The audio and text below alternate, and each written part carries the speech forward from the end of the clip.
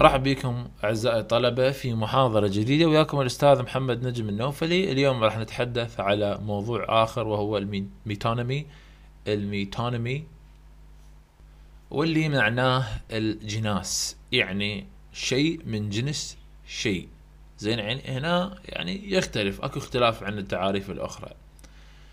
The relatedness of meaning found in philosophy is essentially based on similarity the head of the company is similar to, to the head of person the top إحنا أخذنا البلاسمي هي الميتونمي تقريبا نفس البلاسمي ولكن خلي أنطيك مثال وراح تفهم شنو معنى الميتونمي قبل ان نأخذ المثال هذا هو تعريف الميتونمي هواية مهم.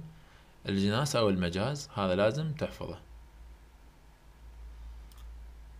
A word used in the place of another which is is closely connected in everyday exercise. يعني كلمة تستخدم من بدل من كلمة أخرى وهاي المعنى هاي الكلمة ترتبط ارتباط قوي فيها في الحياة اليومية. يعني مثلا إحنا عندنا البطل دائما مي المي مرتبط ويا البطل. عندنا مثلا الكار مرتبط بالعجلة الهاوس مرتبط بالسقف. يعني هيك زين عيني. فهذه هي الفكرة من أنه أكو فد شيء مرتبط بشيء معين يعني من نذكر هذا الشيء يجي ببالنا هذا الشيء الآخر. زين عيني فهذا هو الميتونمي تعريف هذا وهذه الأمثلة قدامكم. آه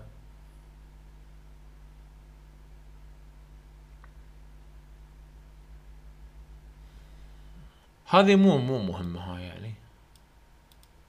يعني إذا أستاذك مأخذها فأنت okay اقراها بس أنا برأيي مو مهم لأن هاي موجودة يعني تتحدث على موقف معين بالولايات المتحدة الأمريكية.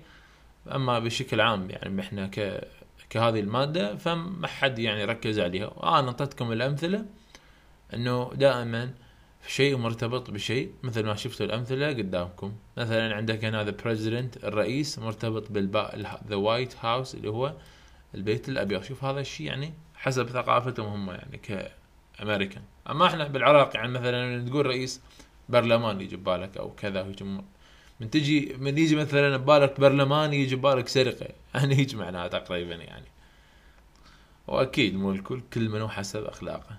فأنت تحفظ التعاريف واحفظ الأمثلة اللي عليها. احفظ التعاريف واحفظ الأمثلة اللي عليها.